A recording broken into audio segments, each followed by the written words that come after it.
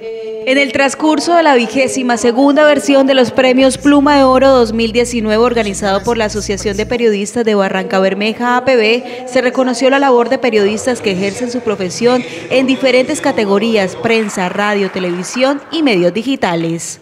Estos fueron algunos de los detalles que se evidenciaron en esta noche de gala. Fue un homenaje al fallecido Gabriel Galvis Molina con la frase Vive entre nosotros. Un momento de silencio momento de reflexión para recordar a nuestros compañeros y amigos periodistas que ya no nos acompañan y que tempranamente acudieron al llamado del Señor.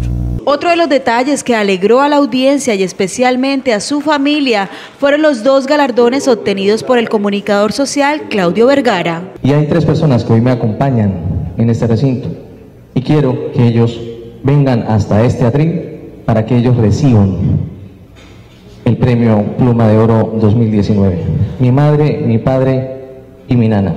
Al finalizar el evento, la periodista Yané Camacho se llevó una sorpresa, ya que debía anunciar el nombre del último galardón que estaba en el sobre. Y antes de abrirlo, uno de los organizadores evidenció que era el segundo premio para esta periodista. Yo le había pedido una colega que viniera y lo anunciara. Le dije, venga y me anuncia este, este ganador, pero de que me tocó decirle que es allá. Título Mazarro, un narrador sin límite, Yané Camacho Sepúlveda.